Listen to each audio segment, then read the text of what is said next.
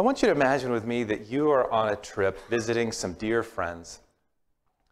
You spend some time together, you reminisce about old times, memories that you've created along the way, and the time comes where you're preparing to leave, but you have to let them know some very important news, which is that you've been diagnosed with a terminal illness, and, and you don't have long, months at most, to live.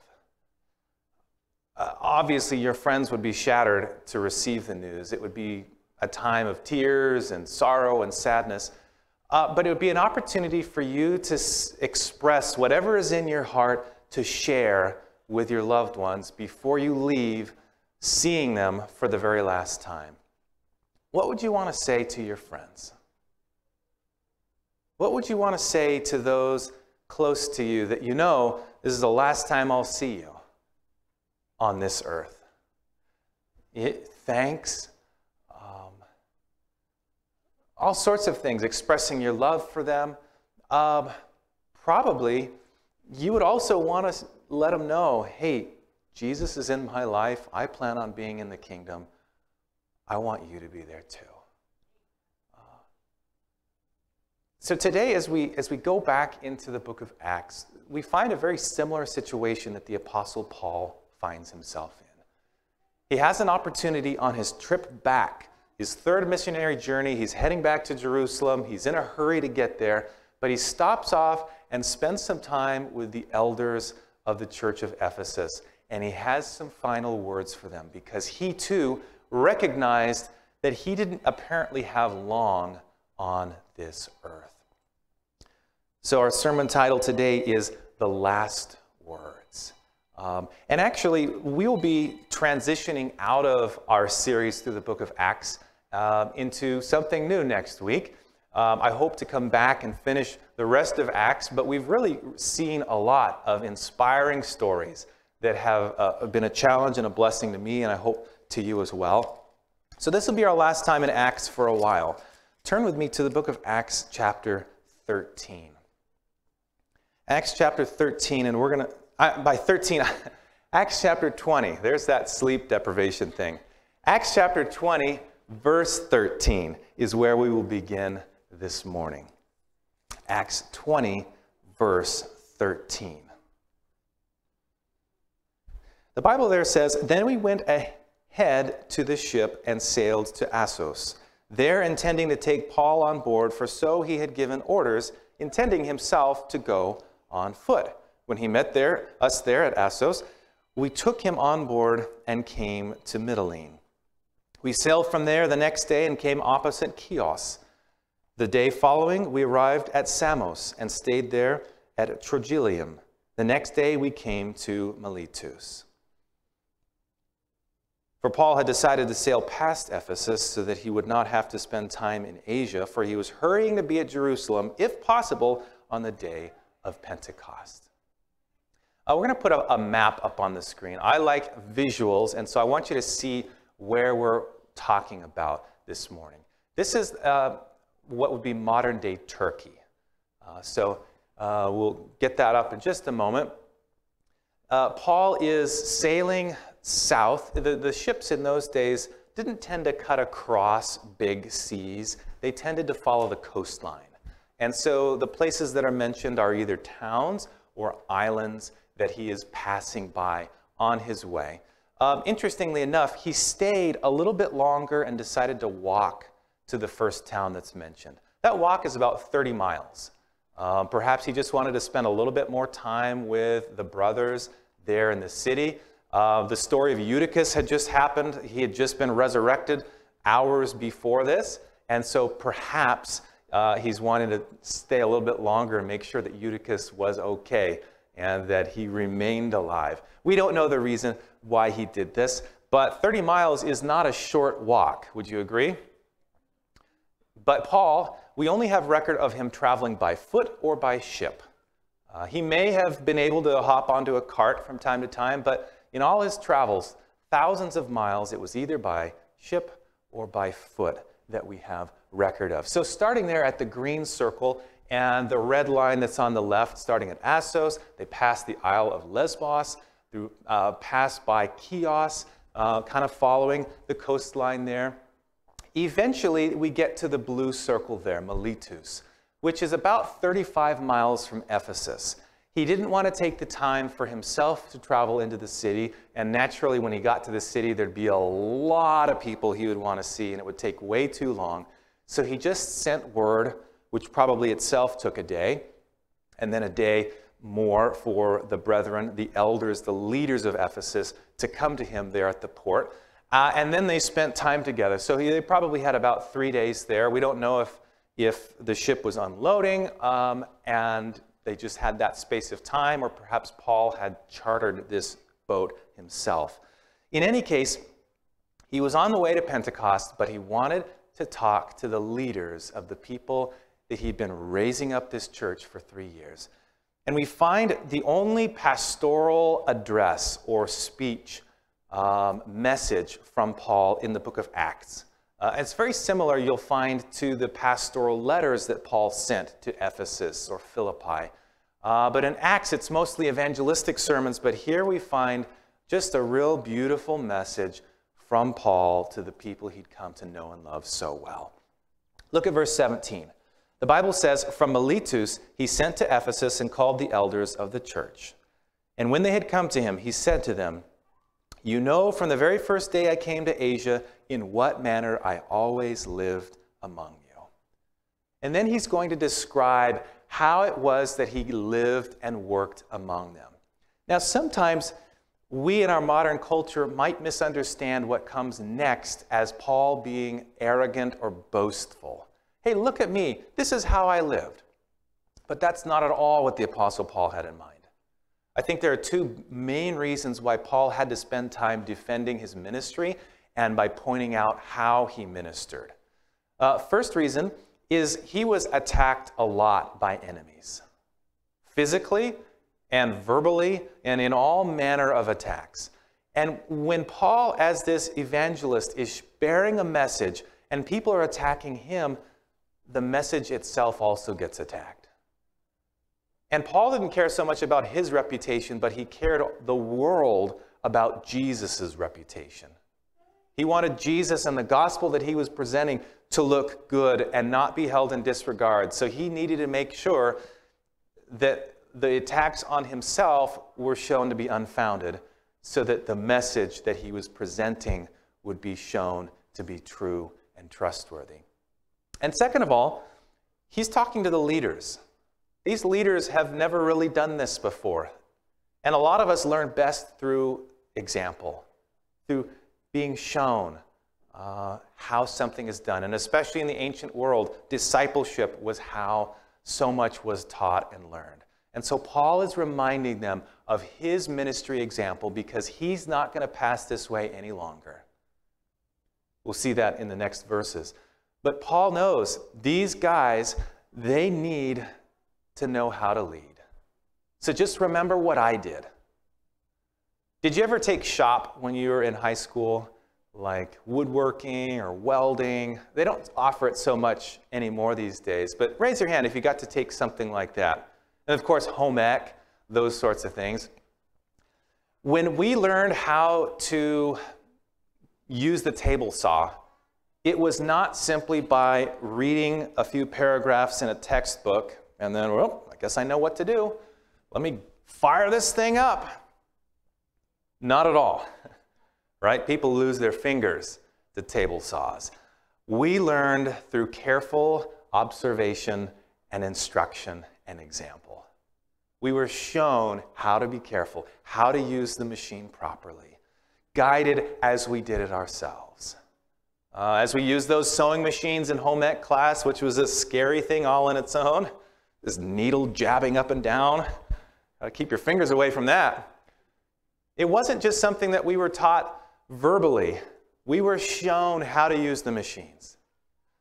And so Paul is raising up these leaders and he's teaching them to the very last and reminding them how to live and conduct ministry.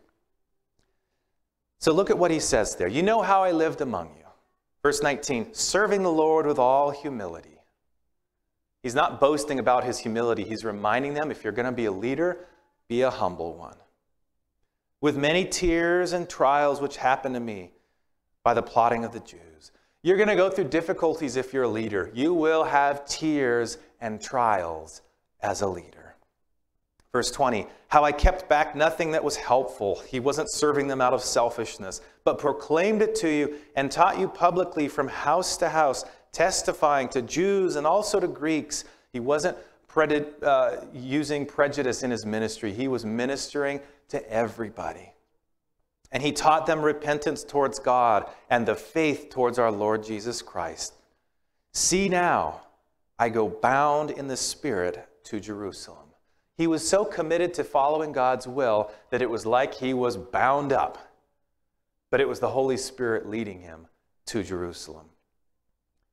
But notice what he says next. He says, Not knowing the things that will happen to me there, except that, verse 23, the Holy Spirit testifies in every city, saying that chains and tribulations await me. In other words, there were people, apparently, who had received messages from God to Paul, saying, Paul, you're headed to Jerusalem. It's, it's nothing but trouble. Uh, arresting, chains, difficulties. Uh, perhaps Paul was receiving messages directly from the Holy Spirit. Uh, and, and those types of messages might make someone want to avoid going to Jerusalem. If that's the case, I'm going to go somewhere else. But notice what he says in verse 24 But none of those things move me, nor do I count my life dear to myself, so that I may finish my race with what?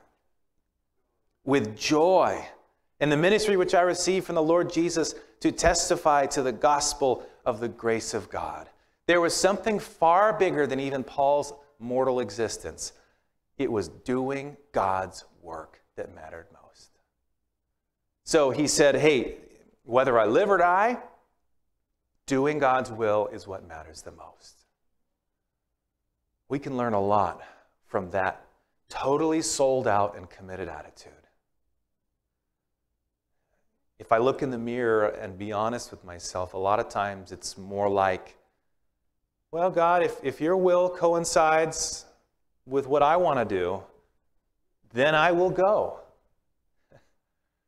And we pat ourselves on the back. That's not what Paul said. He said, God's will is the most important. And think about it for a moment. It, it actually makes sense if the all powerful, all knowing creator of the universe has a plan for your life, do you think the, the plan of the maker of the mountains and the world and the galaxies, do you think his plan overall is going to be a better plan than the ones we cook up in our little brains? I mean, the images that we get from the latest and greatest telescopes, uh, the, the latest one, uh, it's just astounding. We're lear- learning the universe is even bigger than we thought, which means that, that God is even more powerful than we thought. Not that he was ever limited in power. And so, if he's the one guiding your life, do you suppose he's got a better plan than you and I do? And even if the plan doesn't seem like your first choice, do you suppose he has the power to make it, in retrospect, be the best plan? Yeah. God knows what's best. We had to have uh, Emmeline have a little procedure to loosen up her upper lip. It was holding her back. Uh, and that was not fun as a parent, having to watch her. It was very brief, and they, you know, numbed her really good, and the dentist did a really good job. Uh, but she did not enjoy that moment, right? We're hoping that she will have forgotten it uh, totally. Uh, and it's really helped out a lot. Uh, really, it was exactly the right plan. But sometimes in the moment, God's plan for us feels like the exact opposite for what we want. Why do you hate me, God? You know? we think that sometimes, maybe not overtly, but we feel that. But we don't see in that moment the heart of love that is guiding everything if we are submitting to His will.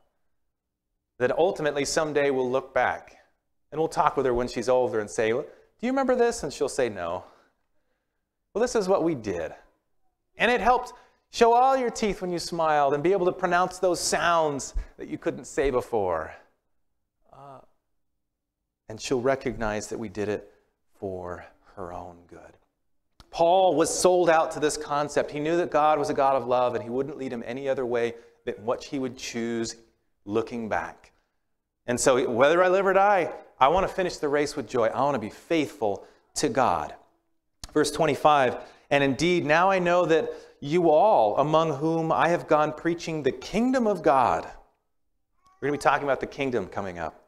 The kingdom of God, you will see my face no more. He knew because of what the Holy Spirit had revealed to him, this is the last time you'll see me. Therefore, verse 26, I testify to you that this day I am innocent of the blood of all men, referring back to Ezekiel's vision of the shepherds that were neglecting the sheep and therefore guilty of the blood of the lambs that they were neglecting. Paul saying, I had a duty and I discharged it faithfully. I have done all that I could do. Would that we could say that about ourselves also. Verse 27 For I have not shunned to declare to you the whole counsel of God. Therefore, take heed to yourselves. Now, some really important instructions. Take heed to yourselves and to all the flock among which the Holy Spirit has made you overseers, to shepherd the church of God, which he purchased with his own blood. Every soul is worth an infinite value to God.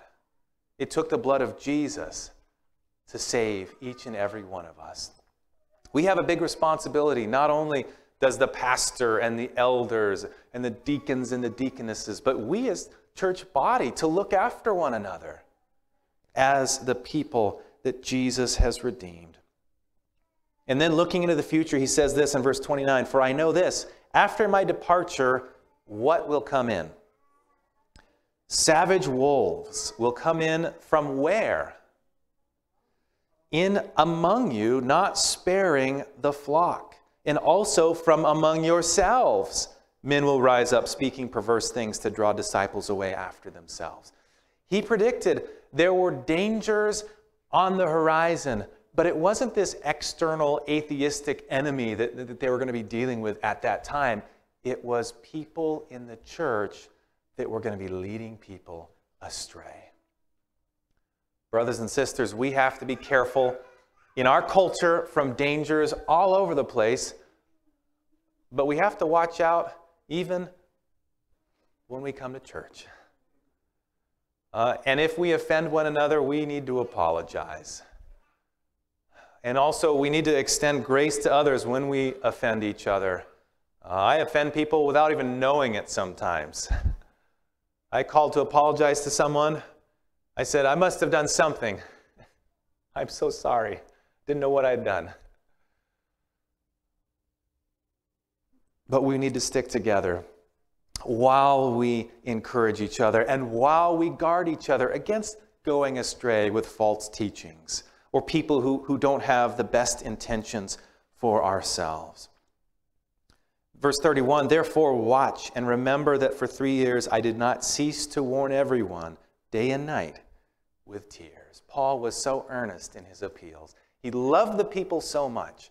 Sometimes people want to rebuke and warn, but they don't have the heart of love that gives them the tears when they do it.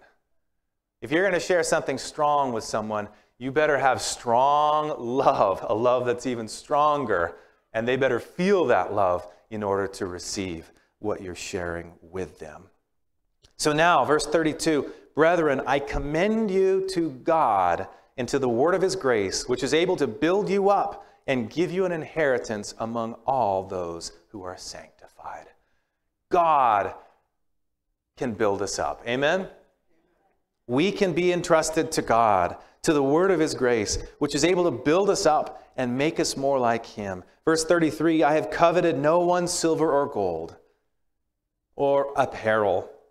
Yes, you yourselves know that these hands have provided for my necessities for those who were with me. He was with them, making tents on the side, and he was preaching at the other times. I have shown you this in every way by laboring like this, and you must support the weak. And remember the words of the Lord Jesus that he said, It is more blessed to give than to receive. Would that all leaders in all churches received these words, that it wasn't about receiving, it was about giving instead. And when he had said these things, verse 36 says, He knelt down, and what did he do with them all? He prayed. And then they all wept freely and fell on Paul's neck and kissed him, sorrowing most of all for the words which he spoke, that they would not see his face anymore. And they accompanied him to the ship. These beloved brothers, um, perhaps sisters, they loved Paul so much that they wept and they kissed him. This was an, an Eastern greeting. In certain parts of the world, that's natural. Here in America, we, we don't kiss as much in greetings. Um, but they loved this man because he had poured out his heart and soul to them. He had showed them the way of life, and now he was leaving them uh, for the last time. That's all they heard uh, from Paul in person. But someday, when the Apostle Paul gets to heaven, I imagine he's going to be looking for a whole bunch of people, don't you think? When he gets to heaven, he'll be looking for these leaders that he shared that tearful goodbye with, and he wants to come up to them. He's going to go up to them and say, How did it go in Ephesus after I left? How did it go? What happened? Tell me about it. And then they'll say, Well, hey, here's somebody that we won to the Lord, and here's another person. And after all that's done, with all the cities and places and villages that Paul went to, and it, will be a long time, I want to go meet him myself. Haven't you enjoyed getting to, to see more of the heart of this dear man of faith? Uh, do you want to meet the Apostle Paul also? I want to talk to him and I have some questions for him about some of the ways he, he wrote his letters. I want to hear more details of the stories that are recorded about him. But you know what? Knowing the kind of guy he was, he's going to get tired of talking about himself. He's going to want to know, well, enough about me. What, what about you? You got to live in the, in the last days of Earth's history. How did it go for you? And what did you do? What did Jesus do through you to reach other people? And he's going to be excited to hear the stories from you and from me. What do you want to share on that day? Well, Paul, you, you see, there was just this really interesting programming on, on this thing called a television. And I really wanted to get out there and witness for God, but you don't understand how interesting this was. I, you know, I was planning, the, but I just, I wasn't able to. You see, Paul, I just, I was, I was so busy with all the things around my house that I, I was going to go meet my neighbors one of these days. But I, I don't want that to be my story. How about you? I want to be able to say, I did what I could.